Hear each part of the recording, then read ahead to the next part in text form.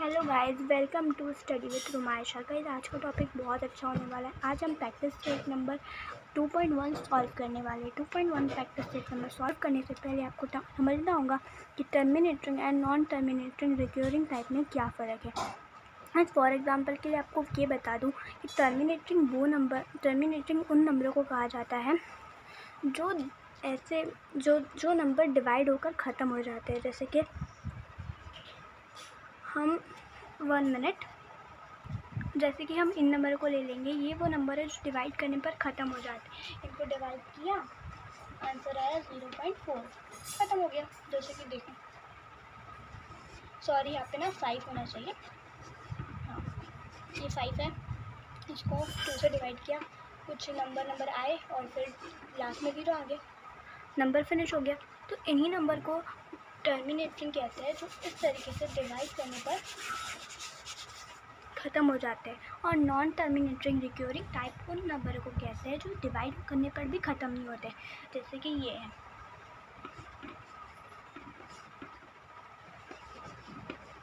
आप इसको डिवाइड कर रहे हैं और ये डिवाइड होते जा रहा है। इसका आंसर ना ये है। आपकी बुक में पेज नंबर ट्वेंटी पर दिया गया है।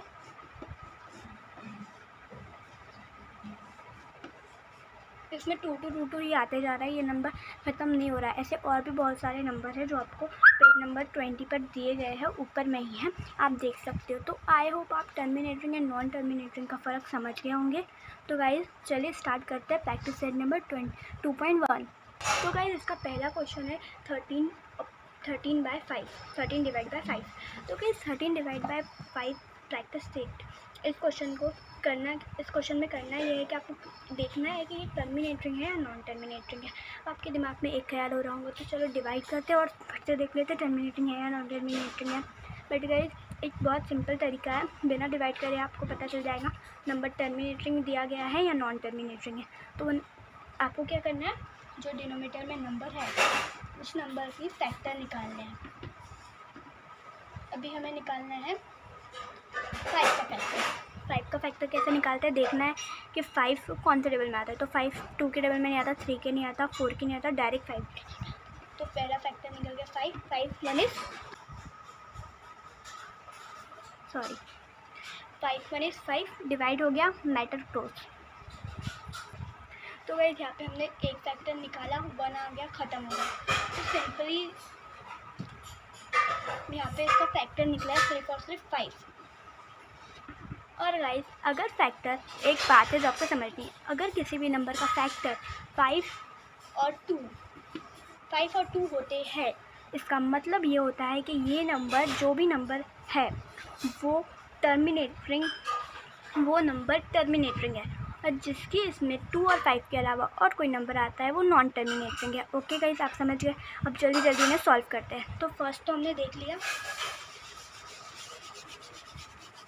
कि ये है टर्मिनेटिंग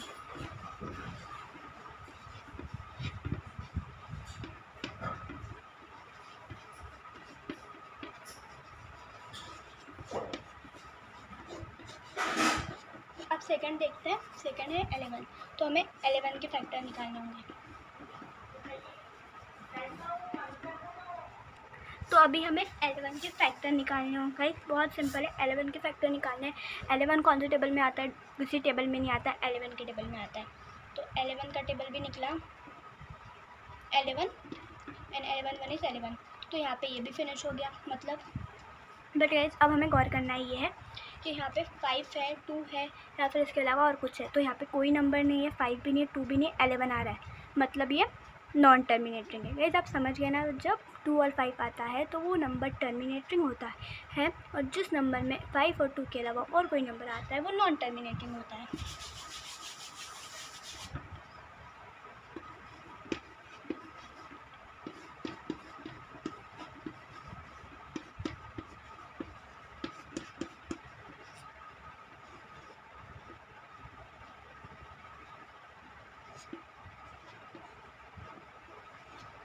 तो तो वही आप समझ गए हैं ना कि ये number non terminating recurring type है क्योंकि इसके हमने जब फैक्टर निकालते हैं एलेवन के तब वो ये हो गए थे आई I मीन mean, वो एलेवन था एलेवन के। और अगर हमें चाहिए अगर टर्मिनेटिंग नंबर होते हैं तो उसके जो फैक्टर्स होते हैं वो टू या फिर फाइव निकलते हैं। फाइव भी निकला दोनों एक साथ भी निकला तो चलता है ओके अब थर्ड क्वेश्चन में हमें सिक्सटीन के फैक्टर निकालने होंगे। तो निकालते हैं यहाँ पे।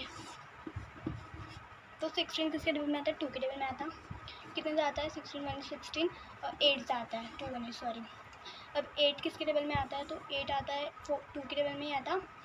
टू फोर ज़ा एट अब फोर का फैक्टर है तो फोर तो फोर किसके टेबल में? टू के टेबल में आता फोर भी two one is two two two ज़ा फोर टू का फैक्टर आता वन तो वैसे सिंपली इसके फैक्टर भी निकल गए और इसके फैक्टर में भी टू टू टू टू ही है।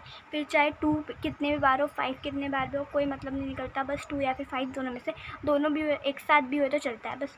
बस अगर यहाँ पर ऐसा होता था कि टू टू टू टू आते जा रहा है और बीच में गलती से वन घुस गया वन नहीं वन नहीं घुस सकता थ्री घुस गया, ऐसे कोई भी नंबर घुस जाता है बीच में तो इसका मतलब ये होता है, ये नॉन टर्मिनेटिंग हो जाता है, बस।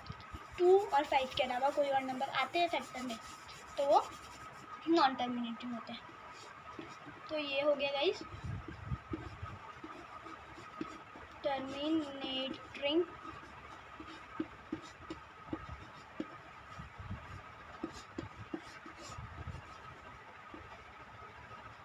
गैस तो मैंने इसमें तीन आपको क्वेश्चन सॉल्व करके दिए हैं.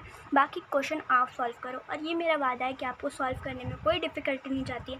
जब आपको डिफ़िकल्टी भी जाती है तो डोंट वरी आप मुझे कमेंट कर दो. मैं दो पर भी वीडियो बना लूँगी। वैसे तो ये आपका होमवर्क है हर आपको इसमें कोई प्रॉब्लम नहीं जाएँगी। ओके गायर आपको वीडियो अच्छा लगा तो लाइक करके ज़रूर जाना और चैनल को सब्सक्राइब भी करना। बाय